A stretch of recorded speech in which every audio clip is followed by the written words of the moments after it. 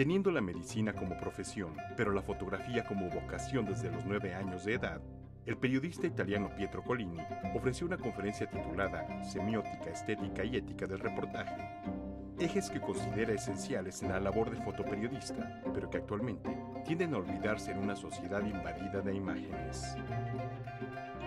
The study, uh, the deep study of reportage, I think it's important because there are many, many uh, images around the world that are not a true reportage, but are only uh, to make a, a shot uh, so, or to make a, a how do you say, uh, to, mm, uh, to make a shock in, in people.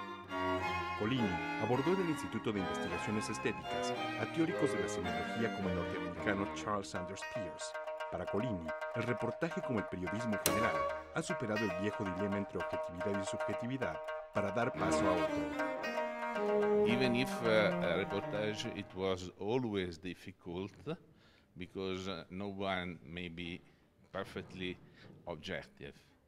Everyone has his culture, has his uh, political view, and so.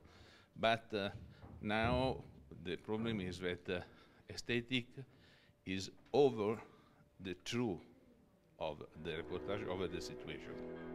Colini ha realizado su trabajo en África, India, Amazonia, México y Guinea-Bissau. Él opina que la imagen fotográfica, si bien siempre una narración de la realidad y no la realidad misma, ha perdido terreno. Uh, the new media, like television so, destroyed the true photographic reportage. But uh, I think uh, there are many, many space more to become again, to revenge the photographic reportage. Además de la conferencia auspiciada por la Fundación Leo Matiz, Pietro Colini exhibe parte de su trabajo en la exposición África, entre Guinea-Bissau y Camerún, en la Galería Dulce Oliva. Noticias 22, Víctor Gaspar.